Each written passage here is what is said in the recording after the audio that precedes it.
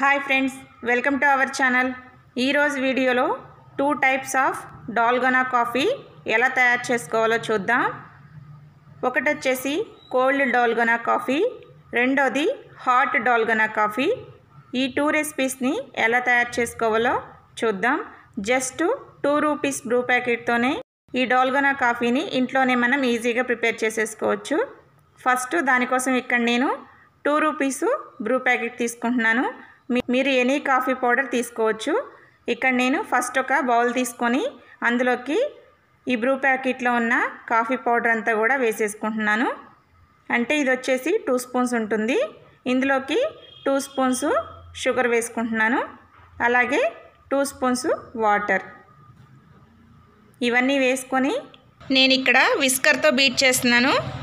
మీరు స్పూన్తో అయినా సరే బీట్ చేసుకోవచ్చు.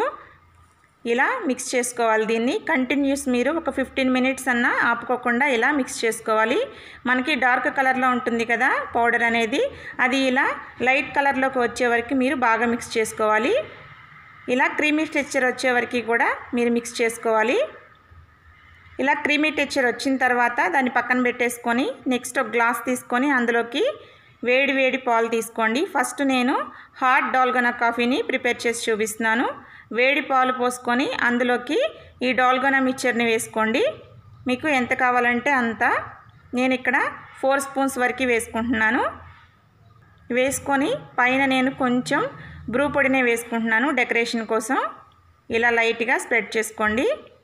చాలా బాగుంటుంది. So finally hot dalgona coffee ready అయిపోయింది. చాలా టేస్టీగా ఉంటుంది. తప్పకుండా మీరు ట్రై చేయండి.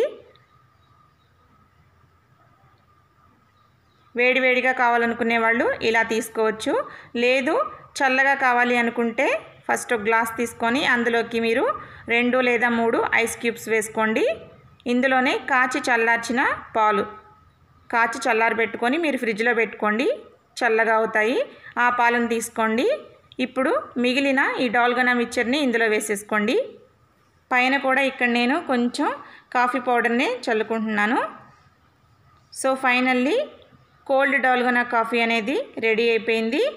ఇలా మీరు హాట్గా కావాలంటే హాట్గా లేదా కూల్గా కావాలంటే కూల్గా డాల్గొనా కాఫీని ఇంట్లోనే టూ రూపీస్ ప్యాకెట్తోనే మనం ఈజీగా ప్రిపేర్ చేసేసుకోవచ్చు. మీరు కూడా తప్పకుండా ట్రై చేసి ఎలా వచ్చింది అనేది నాకు కామెంట్ సెక్షన్లో కామెంట్ చేయండి. సో ఈ వీడియో కనుక మీకు నచ్చినట్లయితే లైక్ చేయండి షేర్ చేయండి కామెంట్ చేయండి. అలాగే ఈ ఛానల్ని సబ్స్క్రైబ్ చేసుకోండి. Thanks for watching.